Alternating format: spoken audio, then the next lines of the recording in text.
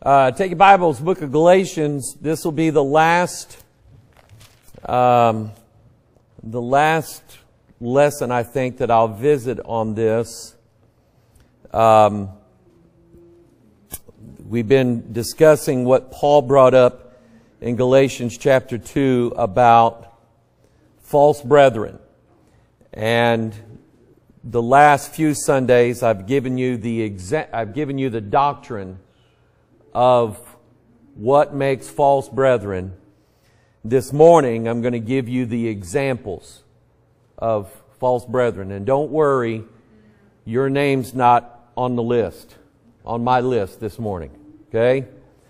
Uh, but what we're going to find out is God's going to give us the names of people from the Bible who ended up being it, it was revealed that they were fake. It was revealed that they were fake. It was revealed, God made it, God made us aware of the fact that they, even though they started out saying that they followed God, they didn't.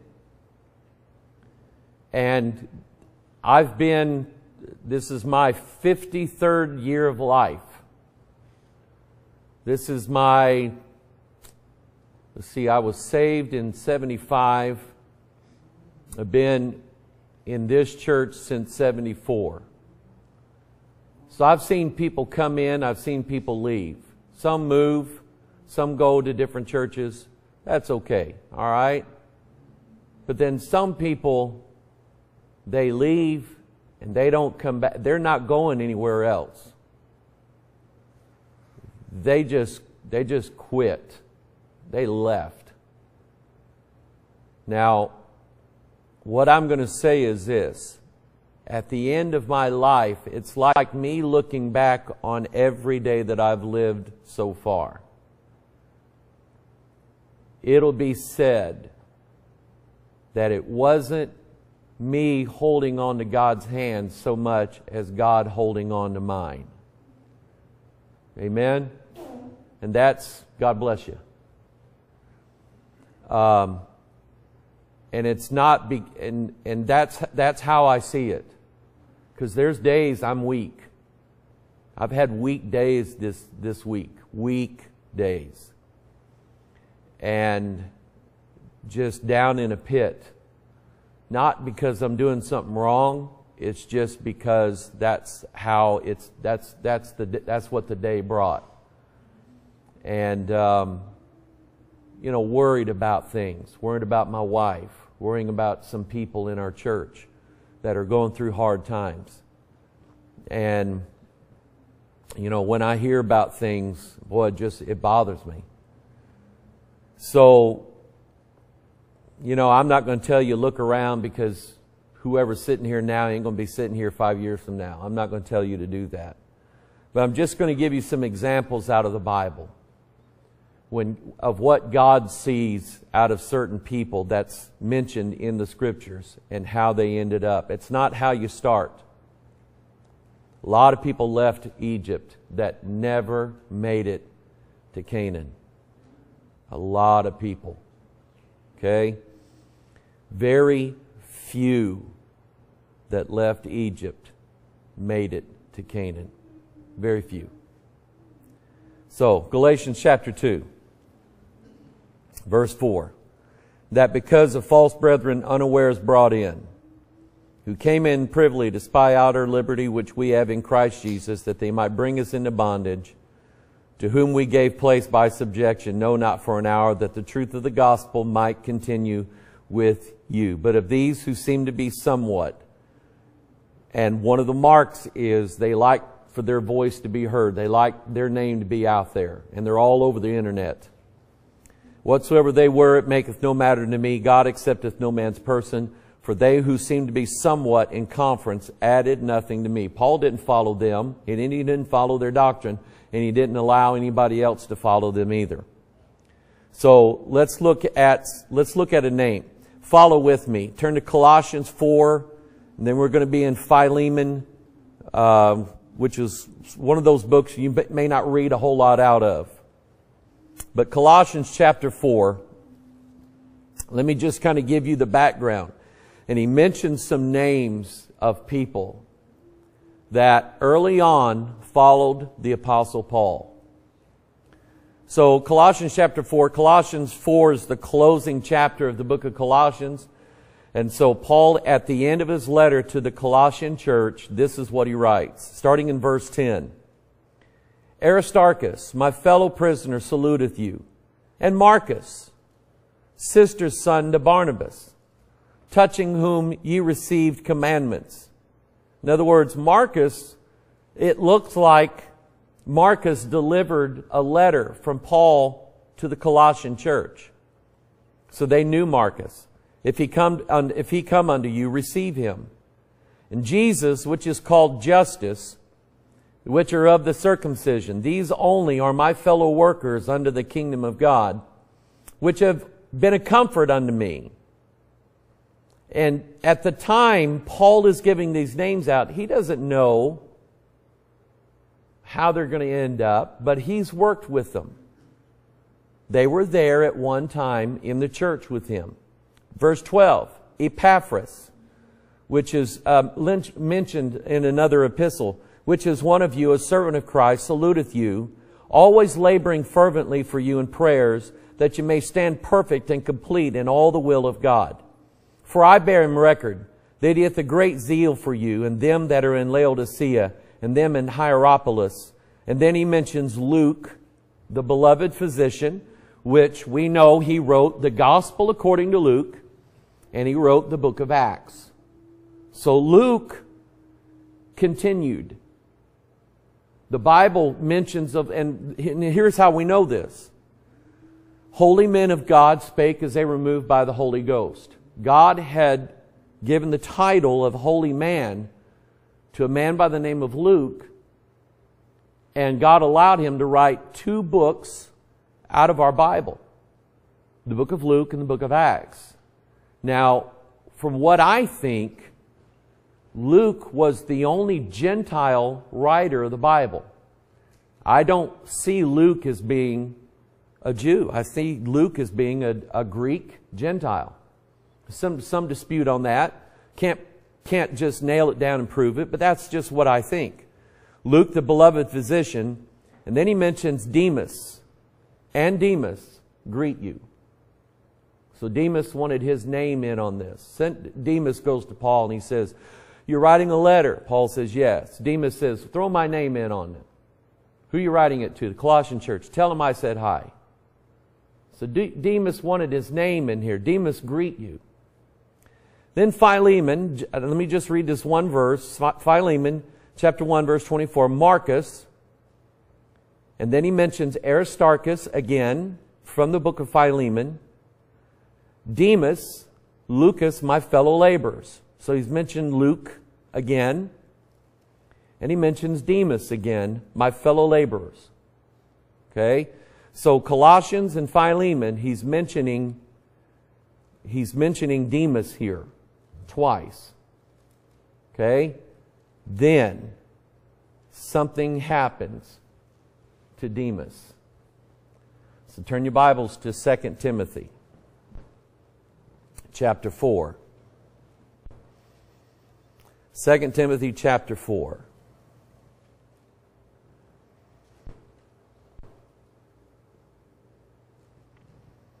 Verse 10. In fact, let's, it looks like he says 4. So let's get a little back, let's get a little back up here. 2 Timothy chapter 4 and I have verse 10. Um, let's look at, let's see here. That's First Timothy. Let me look at Second Timothy. Yeah, verse, look at verse, uh, boy, yeah, let's, let's go back up to verse 7. The last words of the Apostle Paul on record in this world are in 1 Timothy or 2 Timothy. It's the last letter that he wrote. Paul says in verse 7, I fought a good fight. I finished my course. I've kept the what? The, we are justified by faith.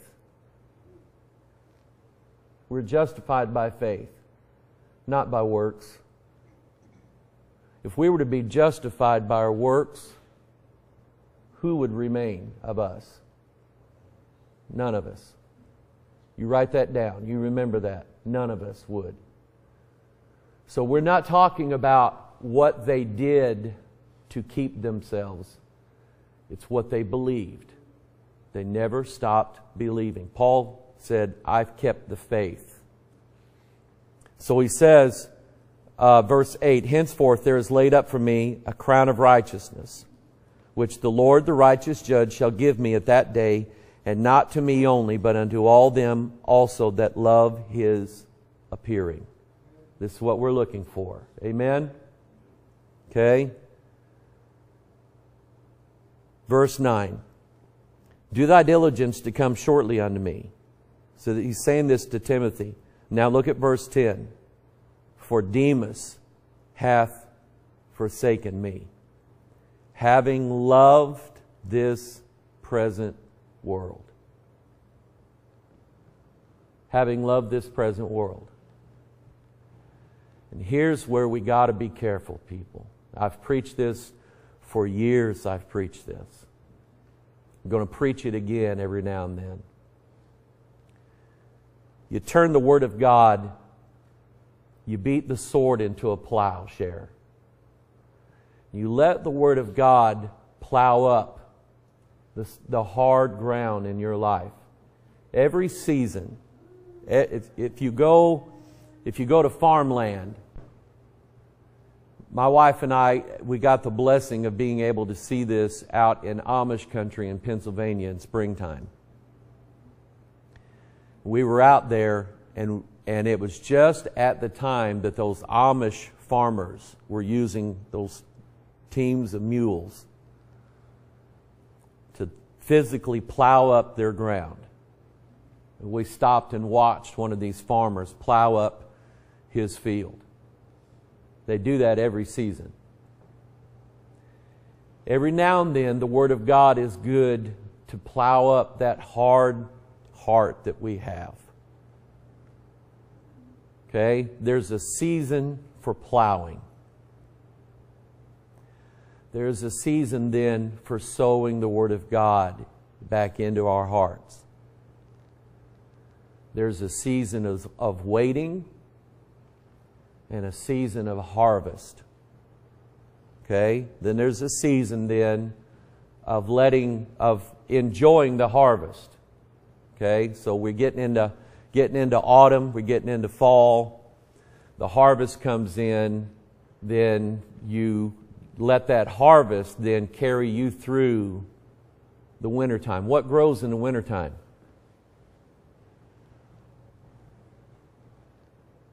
Nothing. So you rest. God will give you rest. Okay? And then you enjoy the fruits of the labor. So Thanksgiving comes around. That's what happened. Our pilgrim forefathers. You got any candy? I can feel it already. Yeah and it's butterscotch. It's one of my favorites.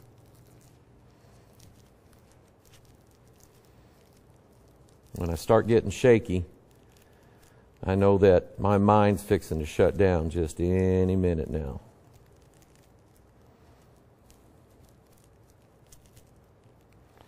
But anyway, you enjoy the blessings of the harvest at Thanksgiving time. And then, well, I should have had you open it for me too. I got it. Hold on to that.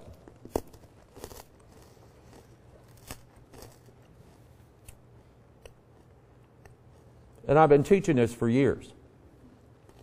Everything goes in cycles, everything goes in seasons. There's a season to plow, there's a time to eat breakfast, time to eat lunch, Then you got to have a little snack in between. That's where I'm at now. And then, then there's a season of rest. And then it starts all over again. And we do that which is necessary. If it's necessary to plow up, then we plow up. If it's necessary to sow seed, then we sow seed. If it's necessary to do these other things, then we do them. And a farmer doesn't just farm one year and live the rest of his life on that one year that he farmed. What does he do? Got to do it again. Didn't we just have church last Sunday? So why are we having it again? It's necessary. Didn't we just have church Wednesday? Yeah, but why are we doing it again? It's necessary. Maybe you need plowing up. Maybe you need sowing. Maybe you need harvesting. Or maybe you need rest. So we have the services that we have, and we do the things that we do, and we continue in those things. Okay? Demas stopped because his heart was in a different place, wasn't it? What did he love? The world. And look at what it said. Demas hath forsaken me, having loved this present world, and has departed unto Thessalonica. Crescens to Galatia, Titus to Dalmatia. He mentions four people that left him. Only Luke is with me. See it? Luke was mentioned back here in Colossians, Luke, the beloved physician. Demas was there, and Luke was there at the same time. So when we look ahead to the last letter of Paul's life, and he just shortly is about to have his head cut off. That's how Paul's life ended. Got his head cut off. For what? Living for the Lord. You know what? I got candy in my pocket. That's all right. I don't. It's a sucker. I don't like. I wouldn't want a sucker in my mouth. It looked like a cigarette. People, somebody say, "Hoggard's smoking a cigarette while he's preaching." Only Luke is with me. Take Mark and bring Mark. Mark hung around and see. Here's Mark and Paul got into it. Mark and Paul got into it. They had they butted heads. They had to separate. But look at what, how Paul is enjoining now Mark. Take Mark and bring him with thee, He for he is profitable to me for the ministry. Even, listen to this, even though they agreed to disagree and went separate ways, Paul is saying, I know Mark is still in.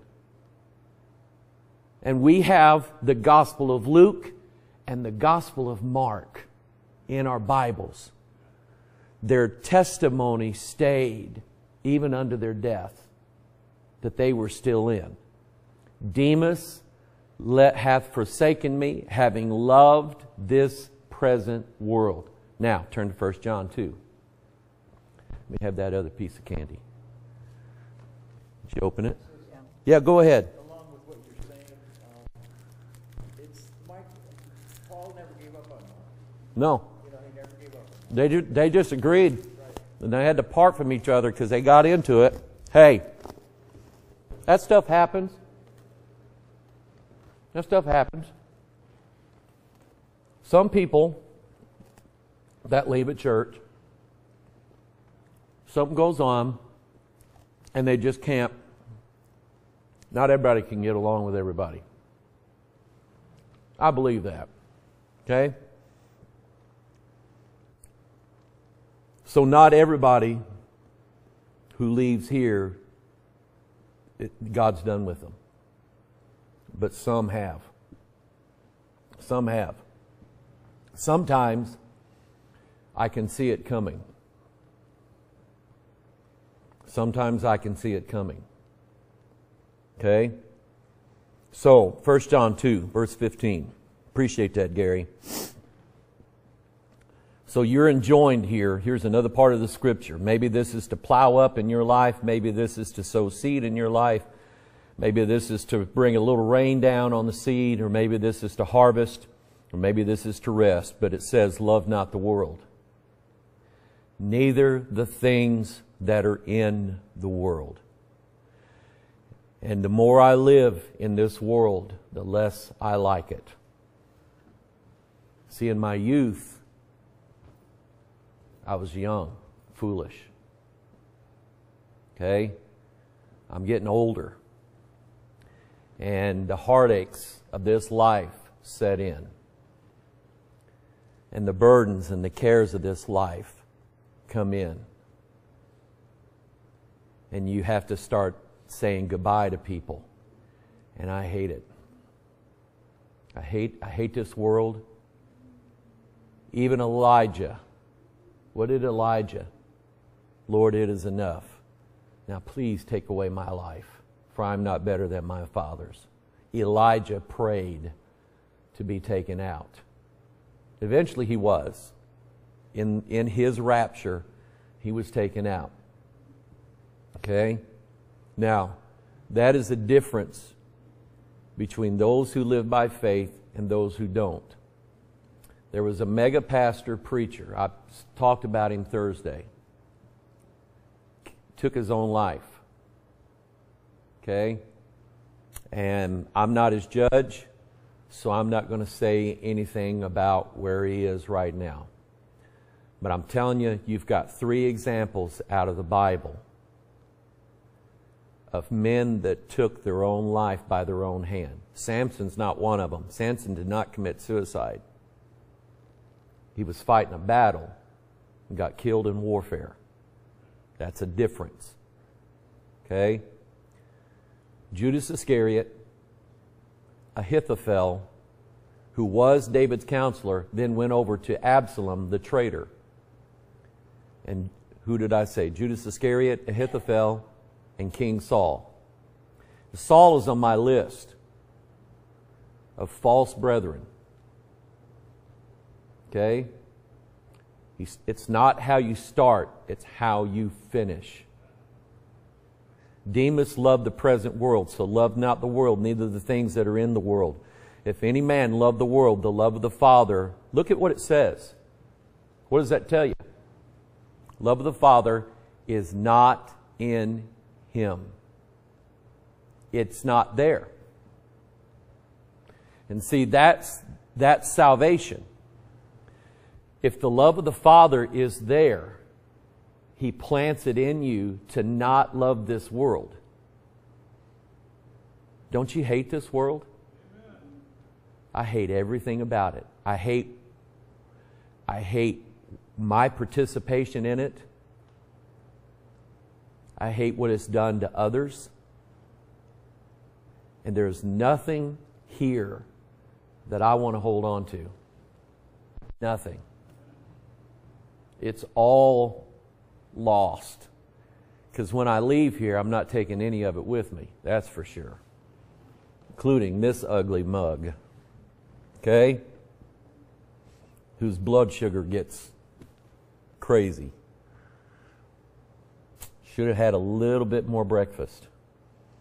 Anyway, if any man love the world, the love of the Father is not in him. Demas loved the world. Demas was a false brother pretending. And he wanted his name in there. He tell the Colossians, I said hi. Demas says hi. Okay? But he he left having loved this present world. Paul says why he left. What that tells you is the love of the Father was not in him. Never was. Okay? Then it says, verse 16, this is where I, I preach this a lot. For all that is in the world, God bless you. The lust of the flesh, the lust of the eyes, the pride of life. Those three. Anytime you see something three in the Bible, it's either going to be sin, if it's an enemy, or it's going to be the Godhead if it's good and holy. Okay, that's how we know. Uh, uh, First, 1 Corinthians 13, for now abideth these three, faith, hope, and charity. Okay, that's from the Godhead. That's not sin, that's from the Godhead. That's how you know the difference. Okay, For all that is in the world, the lust of the flesh. This flesh is awful, terrible about what it wants and what it wants to do. It's awful. The lust of the eyes, unless you're blind, and listen to me, unless you're blind, you have it. The exception are those that are blind. But if you have eyes, even if you can't see out of but just one of them, you have lust of the eyes. And there is no way around it. No getting around it. And the, and the pride of life. So maybe you don't worry about the flesh and you don't worry about the eyes, but you're so full of pride, God can't deal with you. God can't work with you. God has to bring you down. God has to humble you. Usually He humbles us by humiliating us. Doesn't He?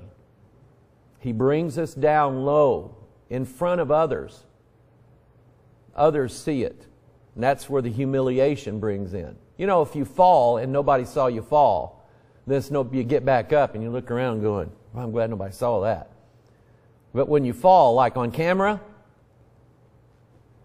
everybody sees that. Okay? That's humiliating. And God, if He loves you, if He loves you, if the love of God is in you, when you do something, God will let somebody see it. And you'll know they saw it. And you'll go, oh man. Okay? That's, that's the love of God being in you to humiliate you, to humble you. So you're not proud anymore. So you don't get cocky. You don't get arrogant. So God can work with you. God can, God can do something with you. God can mold you. You are clay in the hands of God, and He shapes you and fashions you how He wants you. Okay? So, verse 17, well, uh, let me finish that verse. For all that is in the world, the lust of the flesh, lust of the eyes, the pride of life, is not of the Father, but is of the world. And the world passeth away, and the lust thereof. Aren't you glad? Say amen. It's going away one of these days. I'm going to get cured of all my diseases all my sin problems. I'm going to get cured of. Do not put me on life support. What? I don't think so. Why? Am I talking stupid? Okay. I'll hang on to it. I appreciate it though. That was pretty good. Anyway, see, God, God will let me get shaky to humble me. I, I don't preach best out of strength. I preach best out of weakness. That's when God comes out of me better. You hear me? I'm, I'm not any better than anybody else ever. I'm the same as. Aren't you glad? Okay? I, and I'd rather have it that way too. I wouldn't want to be some big high and mighty thing looking down on everybody. I wouldn't want that. I wouldn't want that at all. The world passeth away and the lust thereof, but he that doeth the will of God abideth forever. So even your death is not really death. Your death is now everlasting life. See it that way. Think it that way. Understand it that way. Okay? This world is not getting better. It is getting worse.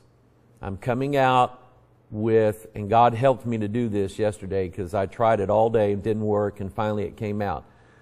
A, a new Watchman series coming out today called CRISPR Apocalypse. And I watched a video on this the other day David, and it scared me. Because it, this, this guy in a cartoon format said basically everything that I've thought about what's coming down the road. And when they start, your insurance company tells you, we have a cure for your disease. If you don't take it, we're cutting you off. And no hospital will treat you.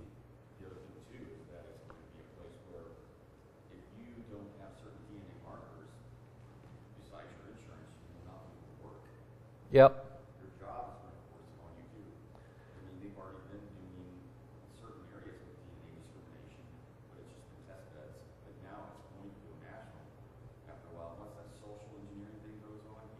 Yeah.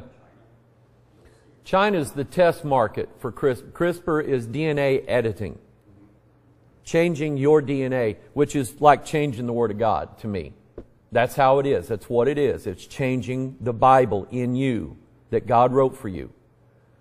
You see, God formed you how it pleased Him.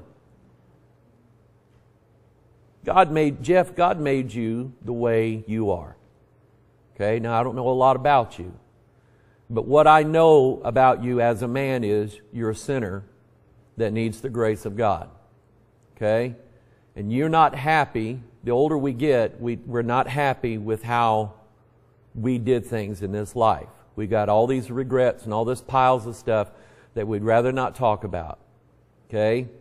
But God made you the way you are because He can work with you. God made you that way on His purpose. Same as you, Hyun me, same as me, same as you, Pam, same as you, David, same as everybody else here, you guys on the internet. God made us all the way He wanted us so He could do His work in us. We are His vessels. The way He shaped us and He made us, and He does that through DNA.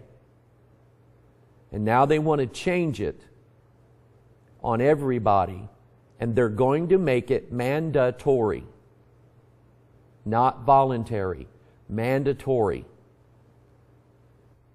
You have to have it. David's brought up something, and I, I'm glad I'm not done with the series because now I'm going to have to go with this direction. David brought up the idea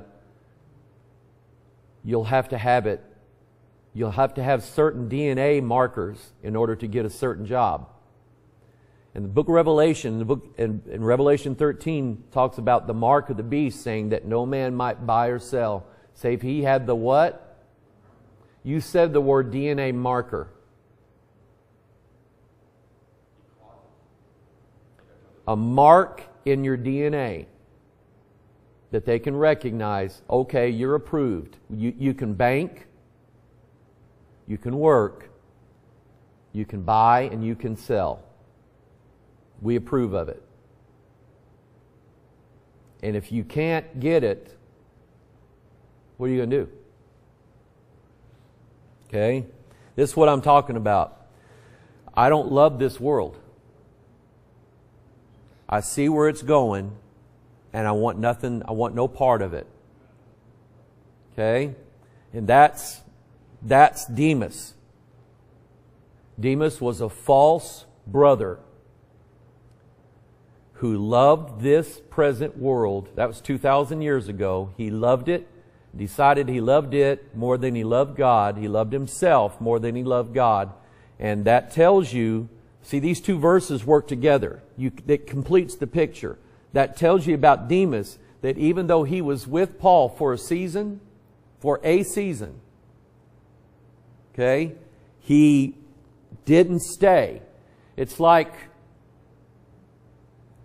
it's like a Cubs player who had his best year in 2015 for the Cubs and left the Cubs in 2015. 2016, they win the World Series. And then this Cubs player says, Yeah, I won the World Series. No, you didn't. You left. You went to play for the loser team. You didn't make it. You had, we, we got this one chance to win the World Series and we got it. You left last year. You didn't get it. Right? I had to bring in the Cubs every now and then. Okay? Cubby is our token Cubs guy. Got to have one in the church. Okay? So he's our guy. But anyway, that's how it is. It's not how you start. It is how and if you finish the race and keep the faith. I got a little time. So turn to Mark 4. Let's go through this very quickly. Who's going to ring the bell? Who's the bell ringer? Do we know? Lisa's not here. Rose is not here. Gloria, is it you?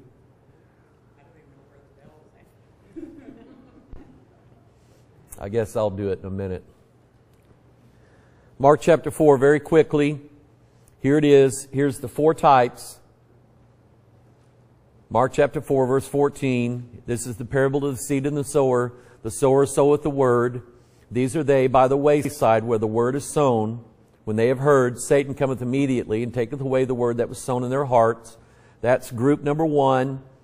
They had, they had a Bible in their hand. They had part of a sermon that they saw on Facebook. Somebody gave them a gospel tract or a DVD. Um, we had some people at Twin City Days last weekend handed out over 1,500 DVDs. Okay? We may have 1,500 people who Satan took it away immediately. Trash cans may be full of our DVDs all over the place now. I mean, who knows? It may lay around for a while and finally somebody watch it. I don't know. We'll leave it up. God, it's up to God. God is the one who soweth. Okay? So when they've heard Satan cometh immediately, taketh away the word that was sown in their hearts. Group number two. Group number one dies and goes to hell. Group number two is a church member. These are they likewise which are sown on stony ground who, when they have heard the word, immediately receive it with gladness. That was Demas. They have no root in themselves, and so endure but for a time. Afterward, when affliction or persecution ariseth for the word's sake, immediate for what sake? The word's sake, the Bible's sake, DNA's sake. They're offended. And when they start clamping down on everybody, telling them you've got to have this certain DNA thing going in your body or you can't work, you can't eat, you can't bank, can't do anything. When they start saying that, that's when it's going to, that's when we're going to figure out whose side everybody's on. God's going to lead His people. Always lead His people. But they have no root in themselves. Some do it for a moment, for a time afterward, when affliction and persecution arises for the word's sake, immediately they are offended. Verse 18. These are, these are they which are sown among thorns. This is where, this is where it affects everybody. This is why we have the seasons where we get the plow out and plow up the thorns and dig up the, the stony ground. Get the hoe out and do some hoeing in the garden. Get the thorns out. Get those little prickly weeds out. Get all that, read your Bible and let God start tearing that stuff out of your life. Okay? And, and it's, you're never going to be done. You are never ever going to be done finding thorns to dig out of your life. Never. In this world. Keep, you fall down, get back up. That's what godly people do. Okay? That's what godly people do. Everybody makes mistakes. Everybody repeats mistakes. Repeat getting up. So these, and they hear the word and the cares of this world. That's, that's Demas. The cares of this world, he loved this present world and the deceitfulness of riches and the lust of other things, and that includes everything else. The lust of other things means the lust of anything else other than I want the Word of God in me. Entering in, choke the Word, and it becometh unfruitful. These are your false brethren. Three categories of, well, one of them doesn't even, they don't even care. They're not going to show up to church but one time. They show up for funeral, wedding, show up maybe once every now and then and they say, that's not for me, and they're out. And they're never coming back. But you got two groups here of what could very well be church members who will refuse certain areas of the Word of God to have any effect in their life or their own personal sins choking out the Word instead of letting the Word cut out the sins as God directs. Okay? This is where, this is where our habits come in, the addictions and things like that. Let the Word of God start getting those things out of you. Get the process going. Fail, get up, do it again. Okay? Seasons come around. You got to do it again all over. There's another one. You got to pick him up too. And this is where all these seasons come in that I talk about. Now, I'm not going to get into this, but next Sunday morning we'll talk, we got some other names on the list of false brethren. Ananias and Sapphira, top of the list. Very famous story in the Bible. This couple, this married couple that wanted to, they wanted to really show off for everybody. just how spiritual they were. And it was all a lie. It was all a lie. Their whole thing was a lie. All right? Let's go to God in prayer. Boy, it's been a good lesson. Amen.